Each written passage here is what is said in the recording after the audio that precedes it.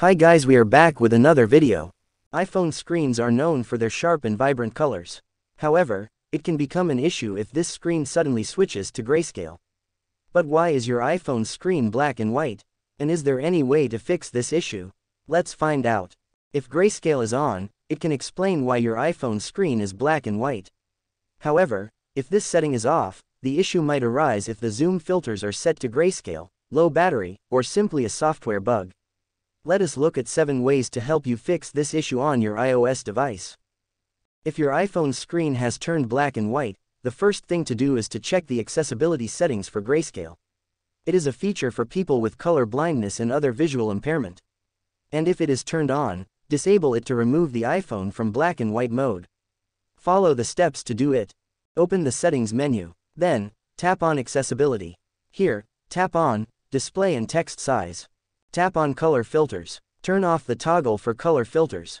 Now, check if your iPhone screen has returned to normal. If not, move on to the next fix. The zoom settings on your iPhone help you zoom in on specific objects, magnify the screen, and much more. However, if the zoom filter is set to grayscale, it might turn your iPhone screen black and white whenever it is enabled. To ensure this is not the case, you can disable grayscale from zoom settings on your iPhone. Here's how. Open Settings and tap on Accessibility.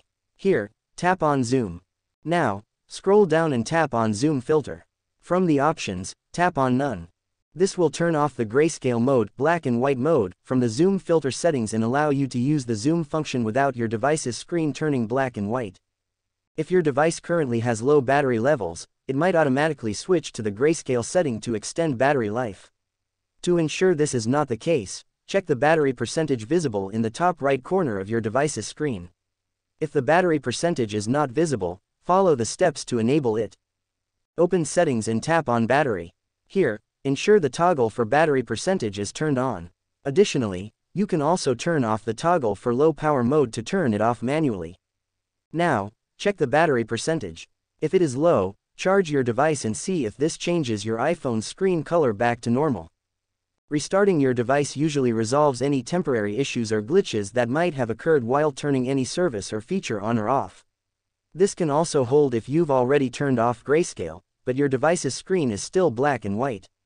And after restarting your device check if your iPhone screen has turned back to normal.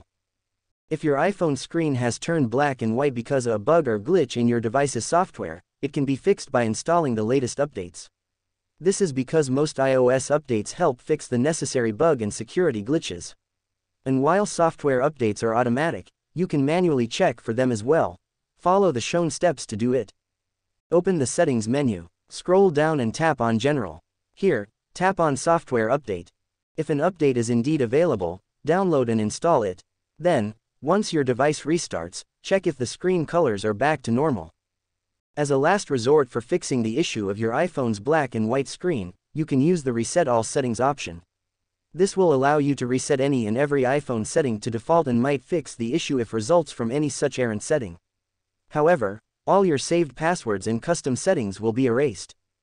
Open Settings and tap on General. Scroll down and tap on Transfer or Reset iPhone. Tap on Reset. Once the options appear, tap on Reset All Settings. Follow the on-screen instructions to finish resetting your device's settings. Once done, check to see if your iPhone screen is working as expected. If you've tried of doing all troubleshooting steps shown in video and you are still unable to get your iPhone screen back to normal, the chances are that it is a hardware issue. So, we suggest contacting Apple's support team. Make sure to provide as many details as possible and wait for Apple's support executives to get back with the relevant solutions. I hope this video helped you understand why your iPhone screen is black and white and fix the issue accordingly. Thanks for watching the video. If you like the video make sure to hit the like button and subscribe to our channel and press the bell icon to get notified for future videos.